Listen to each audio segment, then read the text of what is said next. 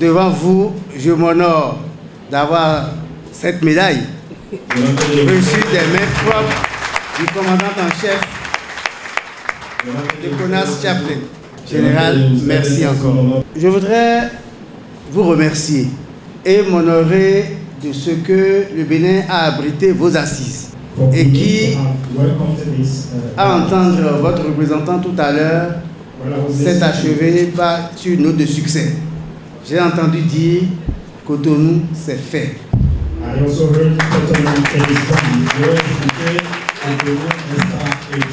Congratulations, félicitations. Je voudrais en second lieu dire combien je partage à titre personnel les idéaux, les idéaux de votre institution dont la devise. Servir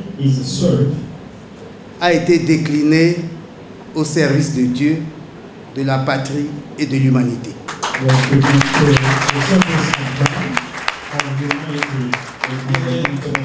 C'est tout un programme.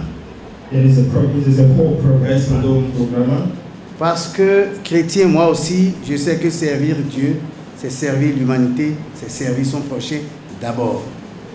Lorsqu'on ajoute que votre institution vise également à sensibiliser sur et soutenir la lutte contre les narcotiques, les trafics de drogue, je découvre donc qu'avec le ministère de la Justice que je découvre, nous faisons le même combat.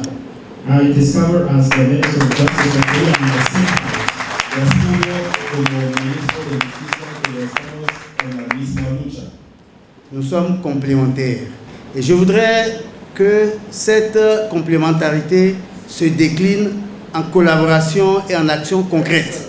Vous avez dit que les assises de Cotonou, de Calavi, ont généré des actes.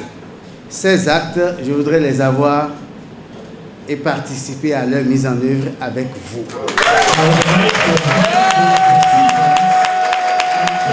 La lutte contre les narcotrafiquants, contre le trafic international de drogue, doit être un combat de tous.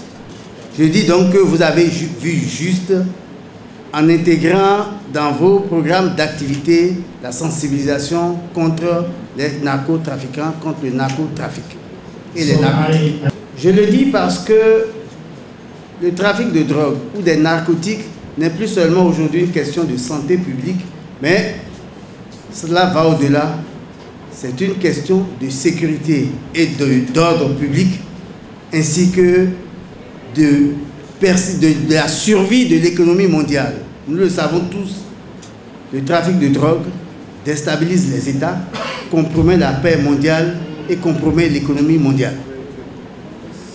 Nous allons donc travailler la main dans la main